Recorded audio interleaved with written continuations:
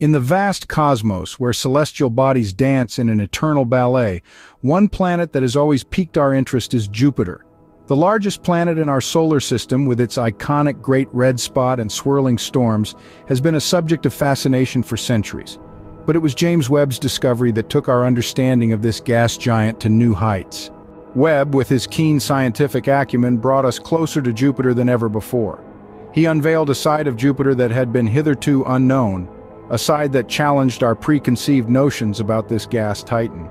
Webb's discovery was not just about Jupiter but also about the nature of our universe.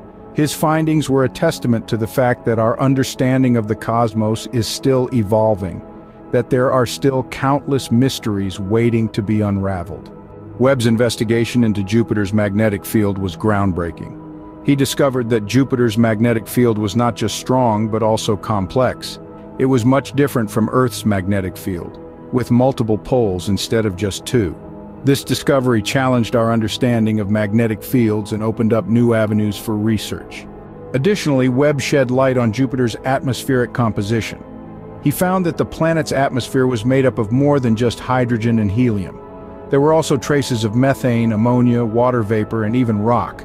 This composition suggested that Jupiter might have formed much further away from the Sun than previously thought, leading to a re-evaluation of our theories about planetary formation. Webb's discovery also revealed the presence of intense auroras on Jupiter, much stronger than those on Earth. These auroras, caused by the interaction of the planet's magnetic field with solar wind, painted a vivid picture of the tumultuous nature of Jupiter's atmosphere. In essence, James Webb's discovery about Jupiter expanded our understanding of the gas giant and our universe.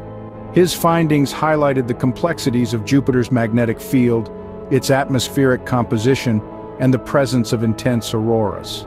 These revelations not only reshaped our knowledge of Jupiter but also hinted at the mysteries that still lie in wait in the cosmos, waiting for us to discover them.